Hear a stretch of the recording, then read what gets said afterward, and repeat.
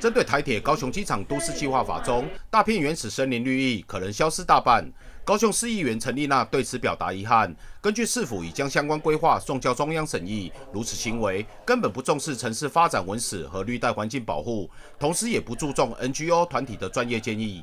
都市计划是一个综合性的考虑，就地在地的里长横跨三个区，包括林雅前镇居民的意见，甚至很多的意见是直接反对的。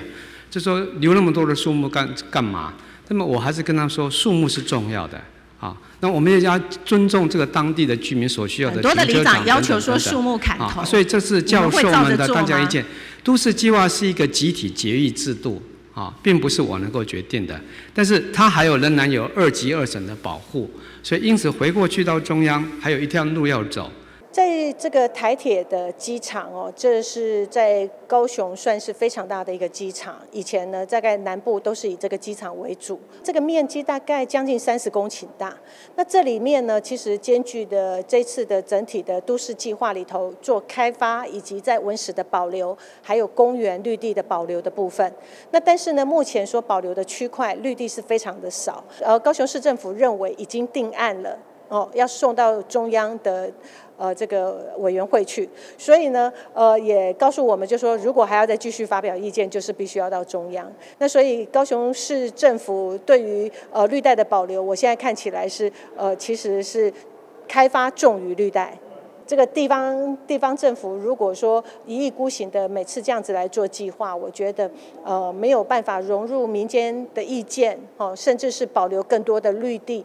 我觉得高雄市似乎呃跟以往我所认识的高雄市是不一样的。另外，陈丽娜也在总咨询中指出，中央部会认为大林埔迁村程序要尽早办理。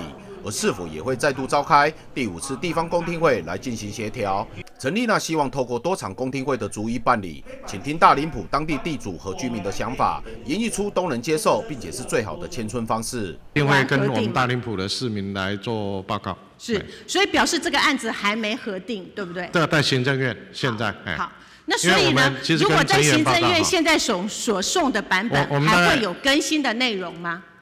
还是已经，如果说是送到了中央，现在准备让中央核定，所以呢，这些内容如果核定下来，就不会有更新的内容了嘛，对不对？呃，应该是这样讲了哈，这个计划没有说一核定就是以后都不能修改了，啊，任任何法律也是一样啊，但是总是因为因为这个是一个呃新的一个计划嘛，啊，所以它总是在行政的程序上。核定之后，那假如在执行的过程有什么问题的时候，其实我们计划再做修正，再来做检讨。呃，大林埔迁村哈，呃，上一次其实呃开完第四次迁村说明会之后，呃，王美王美花部长也认为，就是说应该要赶快进入迁村的程序。那但是呢，还有很多的问题没有解决。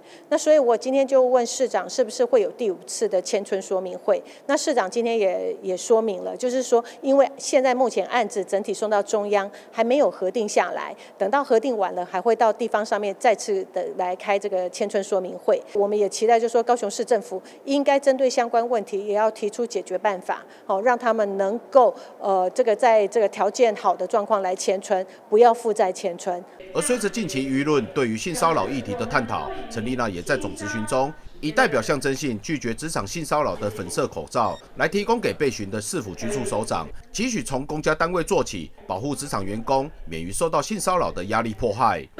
记者李佳龙高雄采访报道。